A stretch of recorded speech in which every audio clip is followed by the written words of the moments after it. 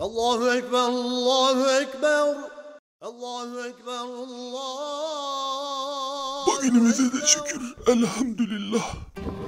Amcacığım, ezan okundu. Hadi hep birlikte orucumuzu açalım.